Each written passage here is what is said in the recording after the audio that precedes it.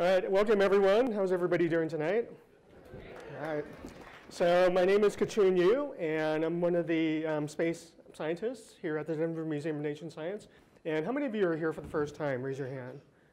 Okay, it seems like we have a pretty significant um, fraction who are um, new to this. Well, welcome to 60 Minutes in Space. And what this program is about is um, scientists here at the museum uh, present um, some news stories that you might have heard about um, in the press, uh, or if you um, like to surf online, um, just uh, learn about astronomy news. But what we do is we try to um, go into a little bit more um, in depth about these stories than you would find um, just from a press release or an online article. And normally I split my duties with Dr. Steve Lee, who is a planetary scientist. He's a Mars expert, and I handle all the astronomy and astrophysics. But um, Steve is out of town tonight, so I'll be going solo. And so with that, um, I have a lot to cover. And if you do have a burning question, um, you can feel free to wave your hands and try to get my attention, but I'll um, save all the um, Q&A for the end. So with that, um, let's go ahead and get started. And some of you, you might remember from a couple years ago, there was an announcement that the closest star to our solar system, to our sun, Proxima um, Centauri, um, had a planet that was discovered around it. So this is um, Proxima Centauri b, and this is an artist's um, conception of what the surface might look like. Um, and the um, star Proxima um, Centauri is a red dwarf, meaning it's much, much less massive than our sun. And so it's not only much smaller, but it also produces a lot less energy. And so it's dimmer and redder and this is actually an, um, an, an artist's um, animation showing what um, one of these red dwarf stars might look like. Um, it, it, appears really dark because um, these stars are known to have uh, significant star spots. Uh, our sun has sunspots, but as you go to the super small stars, they tend to have spots that cover a significant portion of their surface. And the other thing about these stars is that even though they're less massive, they can be um, also more active. And by activity, I mean um, they can send out flares. So you've probably heard about solar flares. And, um, oh, um, can we turn off the lights? Or turn down the lights? so you've probably heard about, um, whoa. Let's flip the other way.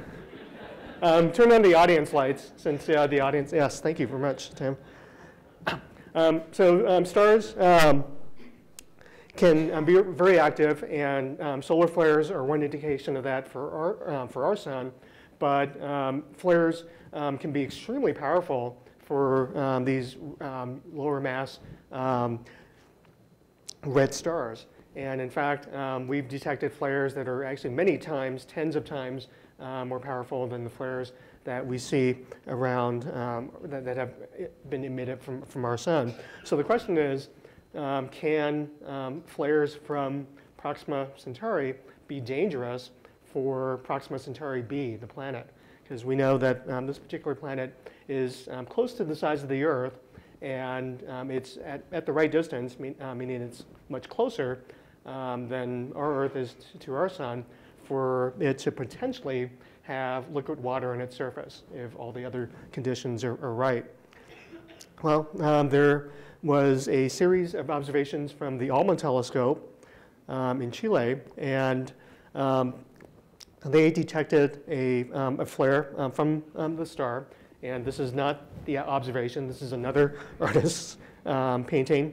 And what they found was a flare that was a thousand times brighter at its peak than the, the star at its normal luminosity when it wasn't flaring.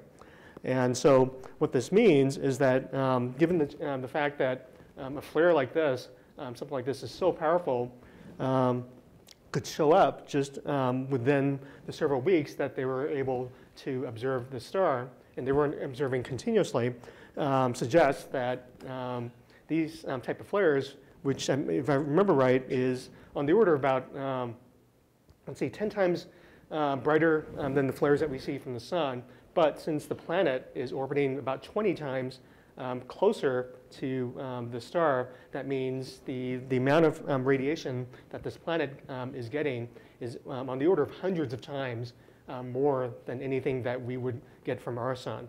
And so this suggests that if life was to ever evolve, or if it had evolved on this planet, it probably would have been sterilized relatively quickly because of the flaring from the star.